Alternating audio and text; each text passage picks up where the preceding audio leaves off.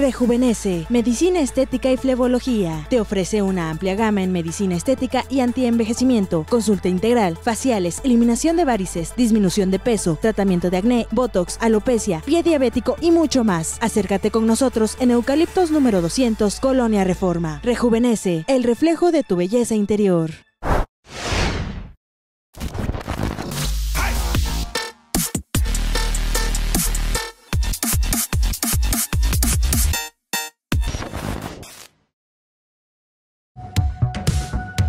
Therapy Center. Somos una clínica de terapia física y rehabilitación.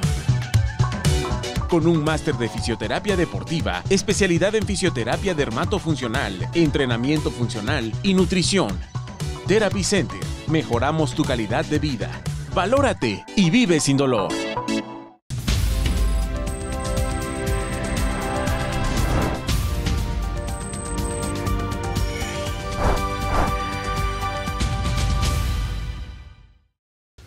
Hola, ¿qué tal? ¿Cómo están? Bienvenidos a MBM Noticias. Gracias por eh, preferirnos para estar bien informados. Yo soy Edgar Vázquez y es un gusto enorme estar con ustedes a esta hora. El teléfono en el estudio 205-6300 para cualquier comentario, queja o sugerencia. Recuerde que también nos encuentra en Facebook o en Twitter como MBM Noticias. Quédese con nosotros. Aquí la información más importante generada hasta estos últimos momentos y que desde luego usted, sí, usted debe saber. Damos inicio y para las personas que están interesadas de saber cómo amaneció el dólar, aquí lo tienen. Precio del dólar en México en la apertura de hoy lunes 25 de mayo del 2020 es de 22.59 pesos. El tipo de cambio promedio de la moneda estadounidense en el mercado es de 22.24 pesos para la compra y 23.34 para la venta. Así el dólar en nuestro país.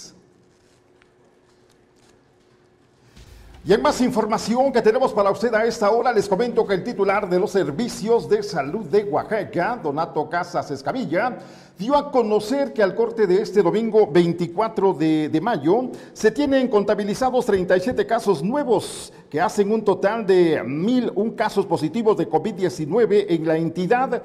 Informó que se han confirmado 2.619 casos, de los cuales 1.195 son negativos, 423 son sospechosos y están en espera de resultado por laboratorio. Se han recuperado 509 pacientes y lamentablemente se registran 101 decesos. Agregó que las siete nuevas defunciones registradas este domingo corresponden a una mujer de 56 años, residente de Oaxaca de Juárez, con diabetes eh, tipo 2, un hombre de 63 años, habitante de Santa Cruz, Cojocotlán, sin comorbilidades, así como dos mujeres de 72 y 52 años, vecinas de San Antonio de la Cal, una con diabetes y la otra sin comorbilidades. También un hombre de 28 años, residente de Oaxaca de Juárez, con obesidad, así como un hombre de 63 años, habitante de San Antonio de la Cal, con diabetes, hipertensión arterial e insuficiencia renal crónica, y un hombre de 63 años que vivía en Oaxaca de Juárez con hipertensión arterial.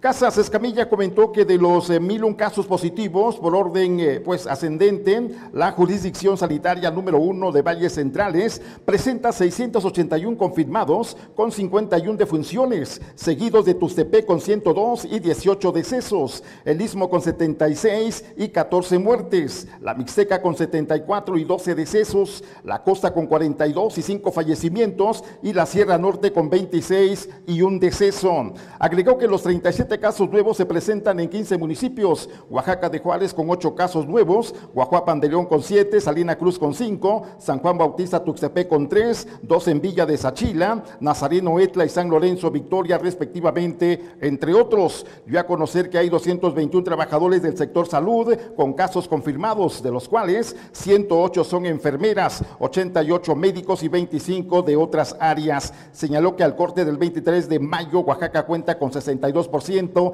de disponibilidad de camas con ventilador y con 67% de disponibilidad de camas, de acuerdo al informe diario sobre coronavirus COVID-19 en México de la Secretaría de Salud Federal.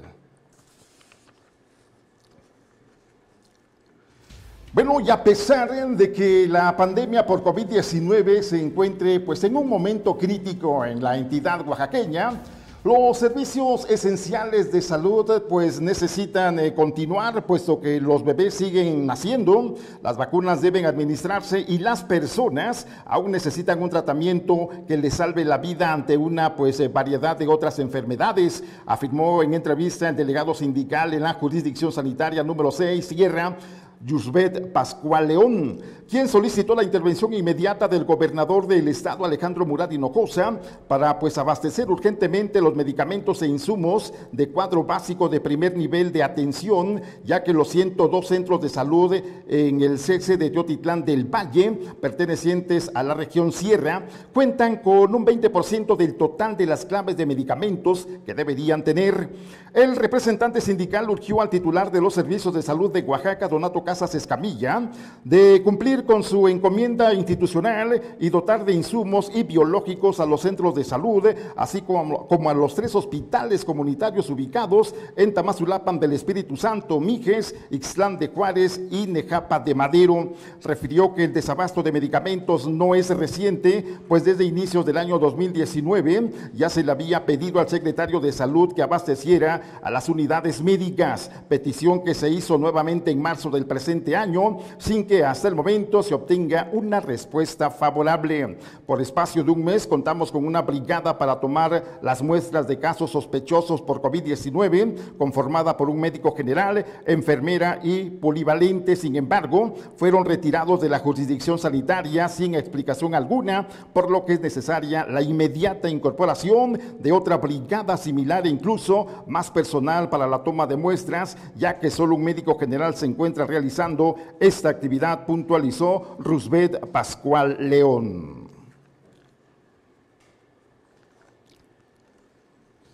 Gracias por continuar con nosotros y les comento que el pasado jueves 21 de mayo, integrantes del comité vecinal del sector El Arenal notificaron al presidente municipal de San Sebastián Tutla, al secretario de Salud Estatal y al titular de la SEMAEDESO de la existencia de un crematorio clandestino, pero dicen fueron ignorados eh, conscientes de que pues, el, establecimiento no se encuentra en jurisdicción de San Sebastián Tutla, sino en el municipio vecino de Tlalixtac de Cabrera. Los habitantes, preocupados por la salud pública, solicitaron la intervención de las autoridades para que tomen cartas en el asunto. Los vecinos comentan que constantemente se ven que pasan carrozas que transportan cadáveres humanos en distintos horarios, principalmente por la noche. De acuerdo al escrito que presentaron el 17 de mayo aproximadamente a las 9 de la noche, varios vecinos se reunieron para comprobar el ruido del horno que está en operación sobre Avenida Ferrocarril, en el inmueble marcado con el número 115, delante de un puente y a un costado del puente La Venta, entre los límites jurisdiccionales de San Sebastián Tutla y de Tlalixtac de Cabrera. Los vecinos decidieron vigilar el movimiento que se tenía en ese lugar durante el día y constataron la llegada de varias carrozas que entran a dejar los cadáveres que transportan y por la noche se pone en operación el crematorio, causando mucho ruido, emisiones eh, fétidas y partículas de ceniza suspendidas en el aire. Según evidencias recabadas por los vecinos, en consecuencia, los vecinos exigen pues, la suspensión de actividades de dicho crematorio a la brevedad posible, la clausura o retiro definitivo y exhortan a las autoridades a privilegiar la salud de la comunidad en virtud de la contingencia sanitaria por la pandemia del COVID-19.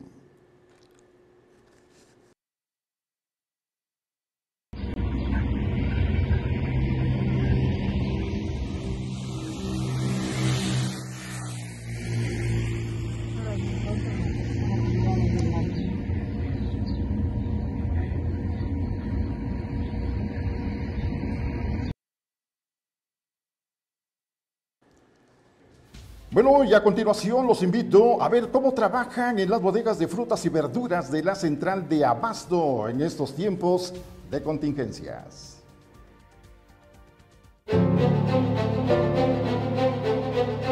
Las ventas en la central de Abasto han disminuido considerablemente, derivado de la contingencia por el COVID-19.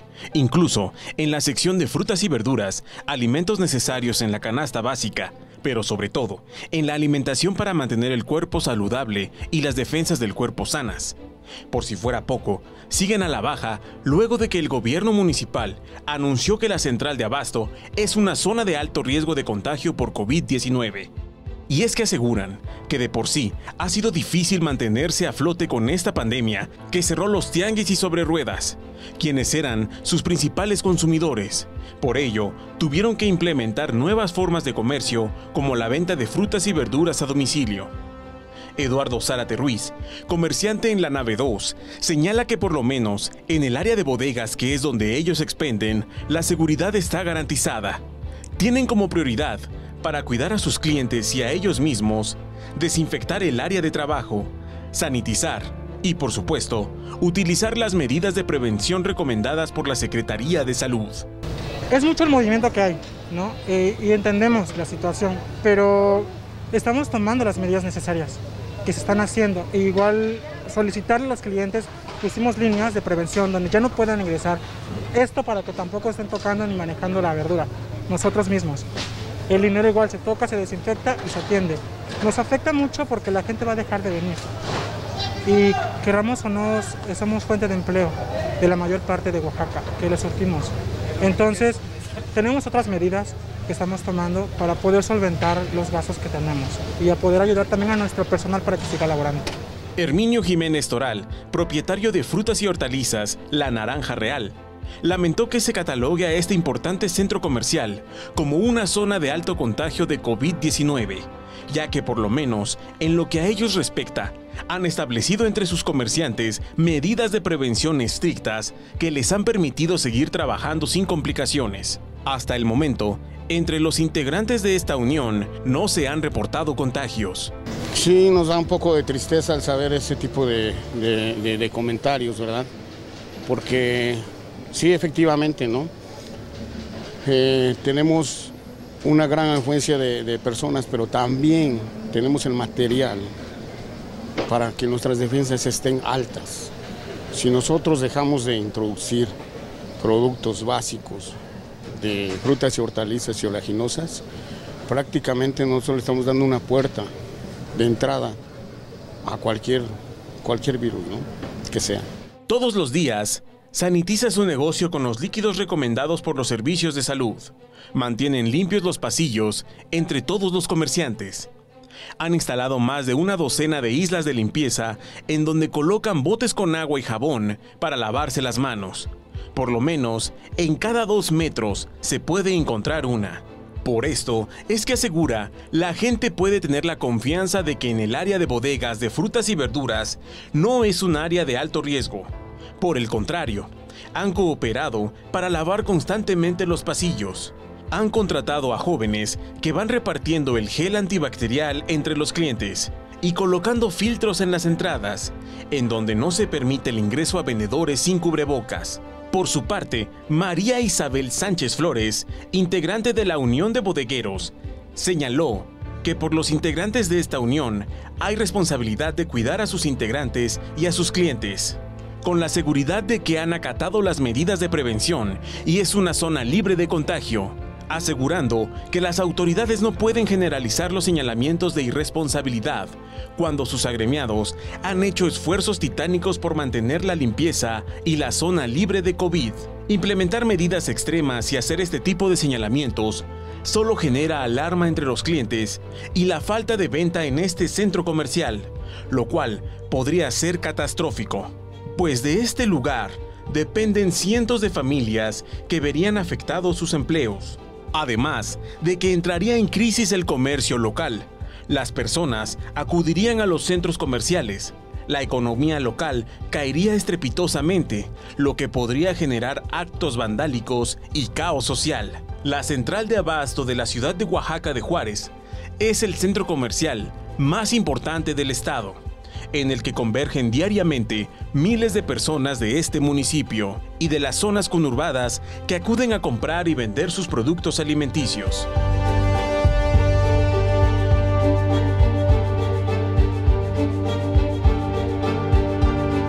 MBM Noticias.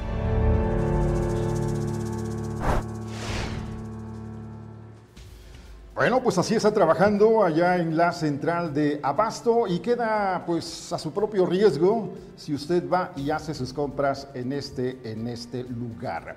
Bueno, y más información que tenemos para usted a esta hora. Le comento que la Secretaría de Seguridad Pública de Oaxaca informó que luego de haber realizado las pruebas eh, respectivas, los servicios de salud de Oaxaca confirmaron casos positivos del virus. Esto realmente en, el, eh, en la penitenciaría varonil de Talibete, en Tlacolula. Las siete personas eh, privadas de su libertad de los eh, pabellones 1 y 4 se mantienen en aislamiento en el área de hospitalización de ese centro penitenciario, donde están bajo vigilancia y observación permanente con las debidas precauciones sanitarias, de acuerdo a los grupos de riesgo. Cabe señalar que para garantizar el bienestar de las personas privadas de su libertad, personal administrativo, así como de elementos de seguridad y custodia, desde el inicio de la contagia y de la contingencia en la entidad, la Secretaría de Seguridad Pública de Oaxaca ha llevado a cabo las medidas de prevención y ha realizado trabajos de sanitización en ese centro penitenciario. También se ha pues entregado equipo de protección como cubrebocas, guantes, caretas y mascarillas al personal operativo y médico del lugar. El personal y la población penitenciaria que estuvo en contacto con las siete personas privadas de su libertad que dieron positivo a COVID-19 se encuentran bajo las mismas medidas de atención y observación médica. Asimismo, a través de la Subsecretaría de Prevención y Reinserción Social, se mantiene comunicación permanente con sus familias. De igual manera, se ha solicitado a la Secretaría de Salud de Oaxaca el monitoreo constante del desarrollo epidemiológico de los 11 centros penitenciarios de la entidad.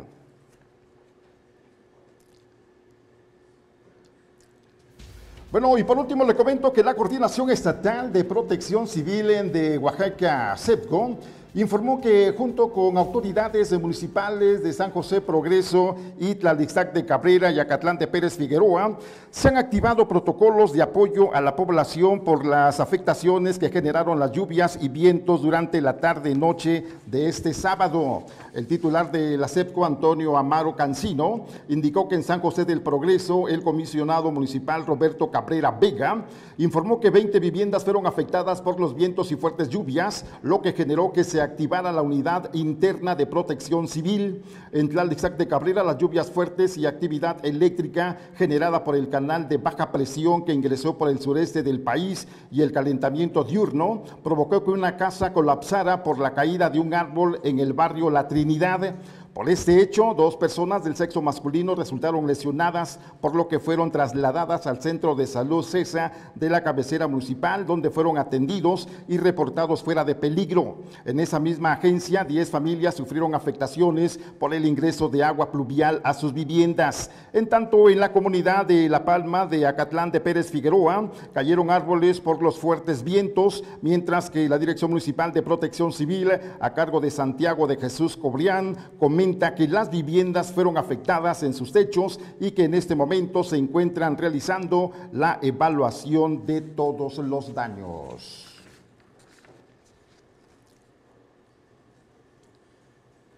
Hasta aquí la información, gracias por habernos acompañado, la información para que continúen pues con MBM Noticias y se mantenga veraz y oportunamente bien informado de todo lo que acontezca en Oaxaca, México y el mundo. Con esto les decimos eh, gracias y que tenga usted un feliz inicio de semana. Hasta la próxima.